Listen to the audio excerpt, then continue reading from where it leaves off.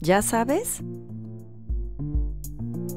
Pudieras tener clamidia o gonorrea sin tener síntomas.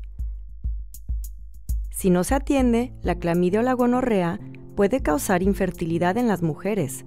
Consigue una prueba casera gratis y confidencial en don'tthinkno.org o llama al 619-692-5669.